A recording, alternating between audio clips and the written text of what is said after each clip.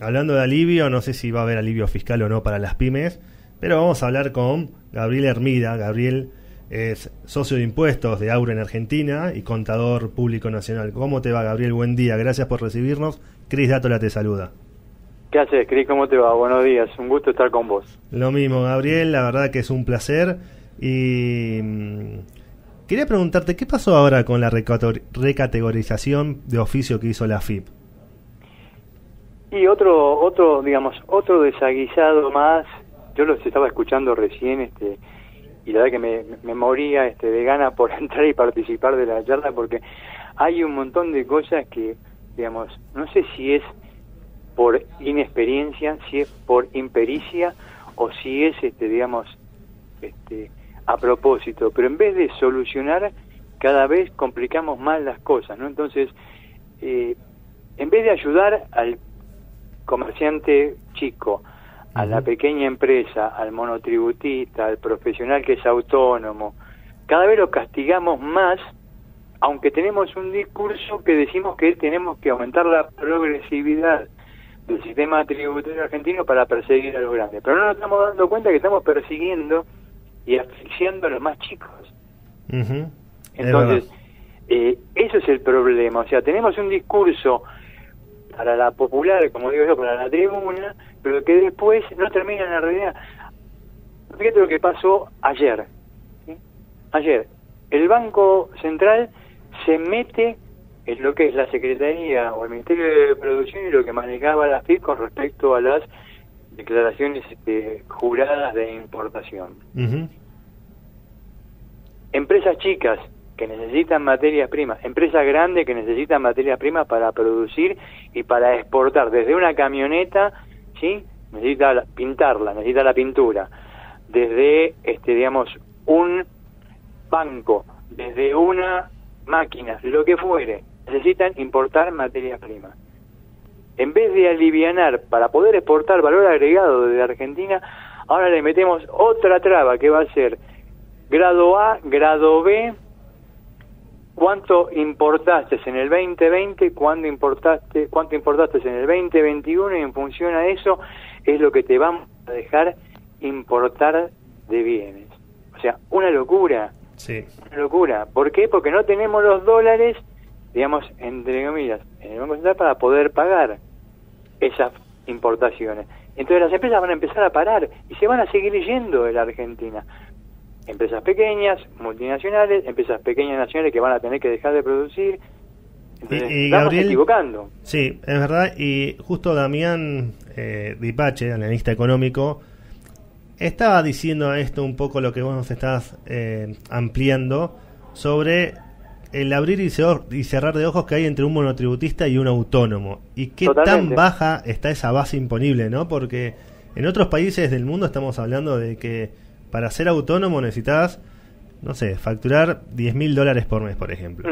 Eh, y acá, eh, para ser autónomo, creo que con ciento, a partir de los 150 mil o 200 mil pesos por mes ya pasas a, ser, autónomo, ¿verdad? Sí, sí, sí, totalmente. Pero, a ver, eh, las deducciones que tiene un autónomo, las deducciones que tiene un empleado de relación de dependencia, cuando haces esa comparación, y yo lo, digamos, lo escuchaba en otro en otro medio a Damián, a quien conozco hace mucho tiempo, y él decía algo que es totalmente real, que es, si las deducciones están atrasadas en la actualización, en el valor real,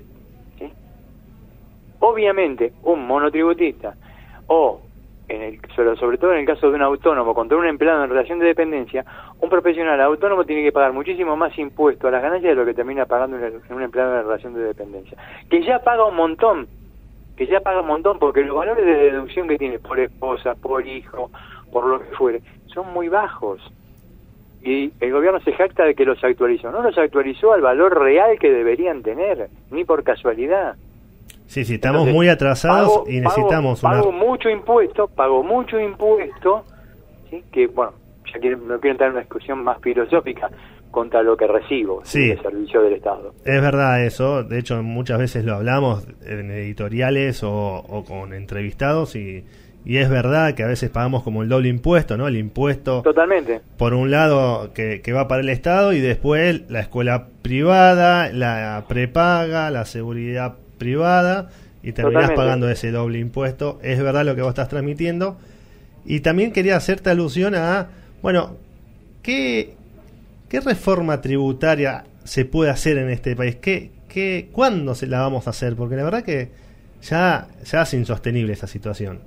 Mira, Cris, mira, Chris, eh, yo hace 30 años que me dedico al tema tributario. En el año 2002, eh, me acuerdo que me llamaron para formar parte del gabinete fiscal junto a otros colegas tributaristas. Le pusimos muchísimo tiempo trabajando, presentando una reforma integral. Quedó en un libro sí que armó el gobierno de ese momento y nunca más pasó nada. Pasaron los pactos fiscales, nunca terminó en nada. El último pacto fiscal que había armado con una reforma tributaria medianamente razonable, este, el, anterior secretario de Política Tributaria, este, que era Andrés Sedlin, fue también razonable, eh, iba a bajar los impuestos porque iba a sacar ingresos brutos, terminó derogándose, y ahora el gobierno central lo que hizo fue hacer un pacto fiscal por el cual autoriza a las provincias y por ende termina autorizando a los municipios, uno a subir ingresos brutos hasta el límite que se les ocurra y el otro, que es el municipio, a subir la tasa de seguridad e higiene en la misma proporción. Entonces ese impuesto sigue existiendo, mientras impuesto a los débitos y créditos bancarios sigue existiendo. Mientras no aumentemos los mínimos como corresponde para las deducciones, porque decime quién gasta 70 mil o 50 mil pesos este, en un una esposa, este, digamos, en darle lo que necesita. O sea, mientras no hagamos ese tipo de cosas, vamos a seguir en lo mismo. Eh, vamos a seguir pagando impuestos digamos, excesivos, más el impuesto inflacionario, con lo cual, digamos, esto es un caos. ¿sí? Sí, sí, sí, se, se torna caótico y sobre todo, ¿no? Que los impuestos temporarios terminan siendo eternos. Exactamente, pero además, vos lo que estás buscando, lamentablemente, por eso te decía lo de consciente o inconscientemente, es que las empresas se sigan yendo de la Argentina y no quieran venir a invertir acá. Y, Decime los, en los últimos, en los últimos 24 meses se fueron más de 18 empresas importantes de la Argentina. Decime qué inversiones vinieron a la Argentina. No, obviamente es difícil venir, es muy difícil venir a Argentina a invertir. Es difícil hoy. Entonces, tenés un índice de inflación alto, tenés un índice de desempleo alto, tenés un índice de evasión alto y hacemos un operativo que todos sabemos, que todos sabemos que restaurante, libre, lo que fueran, tienen un montón de pseudo empleados o no pagan los aportes, las contribuciones, porque si no no pueden vivir, porque los asfixian, los asfixian. Entonces cazamos en el zoológico, como digo siempre. Gabriel, para, para cerrar la nota, porque nos tenemos que ir, ¿cómo es la economía informal en Argentina? ¿De qué porcentaje estamos hablando? Más del 45%. Altísimo. Bueno, Gabriel, muchísimas gracias por tu tiempo, espero que disfrutes el domingo y gracias por participar en Somos Pymes. Gracias y como siempre a tu disposición, un abrazo inmenso. Fue Gabriel Hermida, socio de Auren Argentina.